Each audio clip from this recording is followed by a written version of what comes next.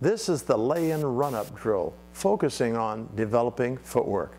Start at the block and with no dribble, step with the inside foot and immediately go up with the finish, using the techniques from the Layups 101 video, and repeat for 10 makes. Now, take one measured step back.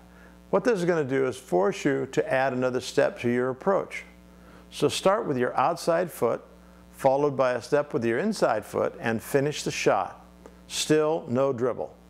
This is the one, two, and up finish. Repeat for another 10 makes.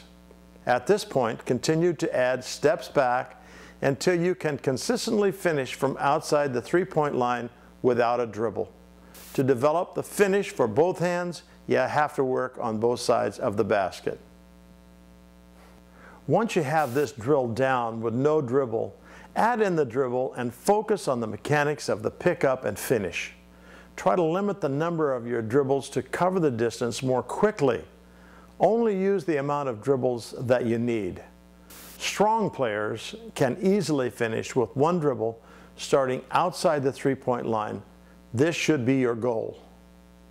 Okay, so get to work on mastering lay-ins on both sides of the hoop and remember, lay-ins should never be missed. Finish strong.